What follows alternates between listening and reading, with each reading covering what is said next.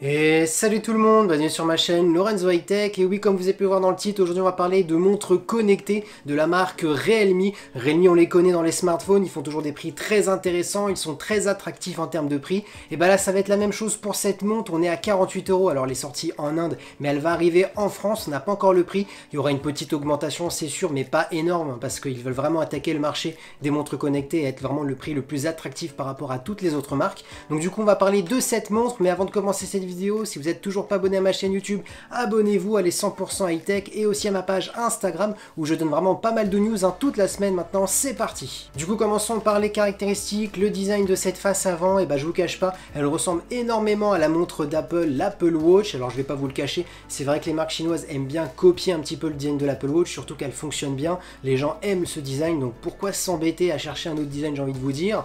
Concernant les caractéristiques, elle fait 1,4 pouces, l'écran malheureusement nos pas, comme l'Apple Watch, hein, toute la superficie, elle occupe que 64%, donc c'est pour ça que vous voyez une petite bordure en dessous, mais bon, pour son prix, on va lui pardonner. Parlons maintenant de la technologie d'écran, on est sur un écran LCD, et oui, pas d'écran OLED, hein, comme les montres haut de gamme connectées, c'est tout à fait normal, hein, c'est pour baisser le prix, bien entendu. Ensuite, on est sur une résolution de 323 pixels sur 323 pixels, ce qui fait une densité de 323 pixels par pouce, ce qui reste normal. Et pour ce qui est du bracelet, on est sur un bracelet en silicone, donc ça change pas, c'est comme toutes les montres connectées de sport, on met toujours un bracelet en silicone, ça coûte beaucoup moins cher. Du coup, on a fini de parler de la face avant, des caractéristiques, attaquons maintenant les performances. Alors cette montre, elle a 1 Go de RAM, 8 Go interne, une batterie de 160 mAh, et c'est là où ça me choque parce que le constructeur a annoncé 6 à 9 jours d'autonomie, donc ce qui est énorme. Alors vous m'aurez dit une petite montre euh, de Xiaomi, vous savez les bracelets connectés où là on tient qu'un jour, je suis tout à fait d'accord parce qu'on est sur des écrans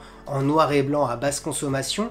Là on est quand même sur une montre en couleur. Donc là, ça me choque un petit peu et j'attends vraiment que cette montre arrive en France pour pouvoir la tester. Parce que si c'est vrai, 6 à 9 jours, bah, c'est vraiment magnifique. Parce qu'il faut pas oublier, on va être sur une montre à moins de 60 euros. Avoir une bonne autonomie, c'est vraiment intéressant. Du coup, je vous ai donné toutes les caractéristiques hein, de cette montre. Mais maintenant, vous vous posez peut-être la question, mais qu'est-ce qu'on peut faire avec cette montre? Et bah comme une montre classique, elle vous donne votre rythme cardiaque, elle vous calcule le nombre de pas que vous parcourez, le nombre de kilomètres. Elle permet même une petite chose qui est vraiment intéressante de vous dire le taux d'oxygène que vous avez dans le sang. Il y a très peu de montres qui le font, surtout dans le haut de gamme. Et en plus, on a eu une certification par une grande entreprise médicale sur cette montre qui a certifié que ça fonctionnait énormément bien. Donc là, c'est vraiment intéressant parce que pour une montre à moins de 60 euros, d'avoir ça en plus, c'est vraiment un bon point. On a en plus la possibilité de la mettre dans l'eau jusqu'à 1 mètre de profondeur pendant une heure parce qu'elle est certifiée IP68, donc ça c'est vraiment intéressant. On a ensuite la possibilité de changer de musique, on a la possibilité de raccrocher, si quelqu'un vous appelle, vous voulez pas répondre, vous pouvez raccrocher avec.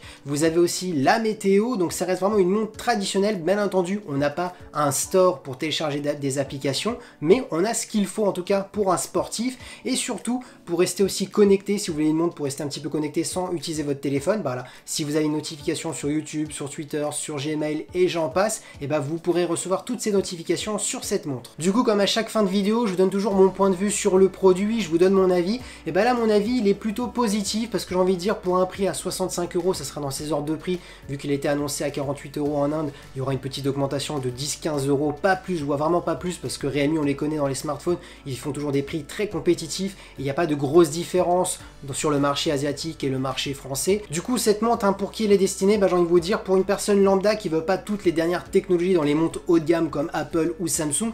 Là, elle dit le rythme cardiaque, elle va dans l'eau, donc si vous voulez faire de la piscine avec, c'est possible jusqu'à 1 mètre de profondeur. Pour les personnes qui font de la course, hein, parce qu'elle calcule le rythme cardiaque, le nombre de pas, les kilomètres hein, que vous faites dans la journée, vous pouvez toujours rester connecté grâce aux notifications. Donc du coup, elle fait quand même toutes les choses de base, et même elle est waterproof, elle des montres à moins de 60 euros waterproof jusqu'à maintenant, j'en avais pas vu. Donc elle est vraiment destinée pour une personne lambda qui veut juste une petite montre connectée pour rester un petit peu connecté, ou pour les sportifs, parce qu'elle a toutes les bases Hein, pour faire du sport cette montre. Donc elle est vraiment plutôt intéressante. C'est vraiment, j'ai un bon point positif hein, sur cette montre. Et voilà, cette vidéo est terminée. J'espère qu'elle vous aura plu. Si vous êtes à la recherche d'une montre pas trop chère, bah, j'espère que cette vidéo vous a éclairé. En tout cas, si ça vous a plu, n'oubliez pas le petit pouce like, de vous abonner si c'est toujours pas fait, de partager la vidéo. Et moi, je vous dis à très bientôt. C'était Lorenzo High Tech.